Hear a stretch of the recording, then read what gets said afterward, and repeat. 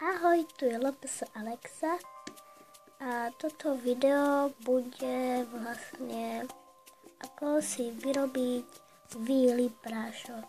Tak poďme na to. Ja už ho mám teda hotový. Mám rúžový a môžete mať hoci jakú farbu. Na to potrebujete len sol, alebo môžete aj morskú sol, nie kryštáliky, takú ako pomletu.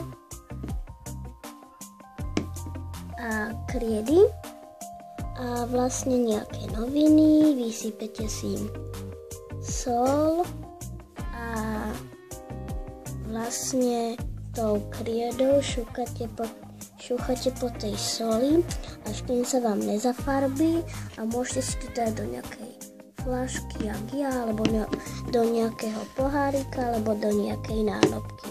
Je to veľmi ľahké a môžu si to vyrobiť aj dospelí, aj deti, hoci kto.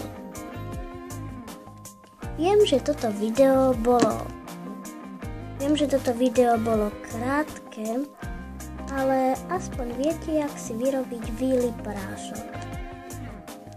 Je to naozaj veľmi ľahké a naučila ma to kamarátka. A vlastne čau pri ďalšom videu. Pa!